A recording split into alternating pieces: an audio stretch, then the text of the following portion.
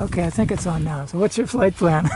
Today I'm gonna go uh, launch this place. It's been the first time in almost a year, so I'm just gonna go out and have a little fun. Try to catch up with Godot. Go out to the lighthouse, yeah? Yeah, go out to the lighthouse probably, and uh, Over Rabbit Island, maybe? yeah, gonna go over rabbit. Probably gonna dive bomb launch a few times, so uh, you might want to keep your camera So uh, trained for a bit. tell our vast audience what kind of glider you have here. Uh, this is a North Wing Freedom. Dave's used to be Dave's uh, Oh. A Wing. And, Primary Uh, is what he calls it. was it? Primary. His primary. Sorry. What did you say, Tim? Primary? Primary. Okay, primary. his primary, um, and now it's just like uh, the go-to.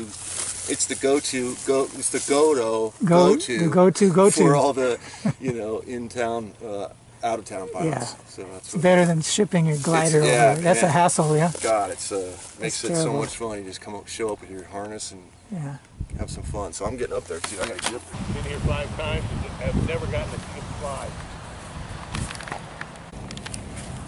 Hey, Robb. Hey, nice launch. It's a beautiful flight.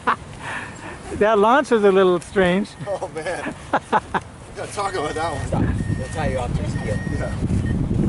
Yeah. That was hairball. How did that happen? Somehow between Chicks or it didn't happen. somehow between um,